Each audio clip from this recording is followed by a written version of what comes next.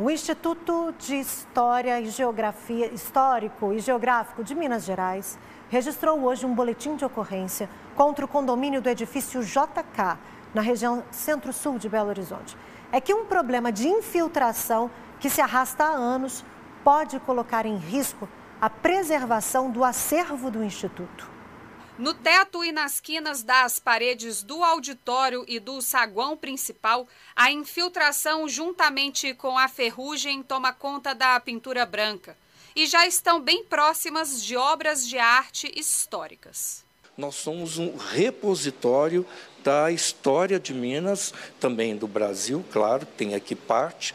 E não é só isso, temos uma biblioteca. Já pensou se de repente vai à biblioteca essas infiltrações? O Instituto Histórico e Geográfico é a casa cultural mais antiga de Minas Gerais.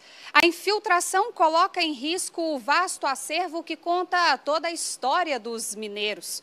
Aqui tem documentos originais e únicos. É o, o auto de exumação dos inconfidentes mineiros, né, de 1936, quando os restos mortais dos inconfidentes foram exumados no continente africano. Aqui é um recibo assinado por Joaquim José da Silva Xavier, o Tiradentes, então, é um documento de 1784. A grande parte do, do acervo do Instituto é em papel, muito sensível à umidade, e aí esse acervo corre risco com, com, com essa situação é, da própria falta de segurança, né? Depois de inúmeras tentativas, desde 2014, de contato com o condomínio, o Instituto decidiu registrar um boletim de ocorrência e incluir no documento de representação que será entregue ao Ministério Público. É um crime que está previsto na Lei de Crimes Ambientais, na 9.605, que é onde tem essa previsão de destruir, inutilizar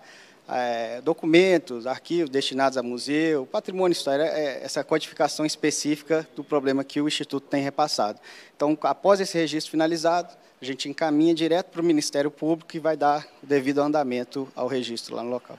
O prédio tombado pelo Patrimônio Histórico Municipal faz parte do conjunto urbano da Praça Raul Soares, também tombado.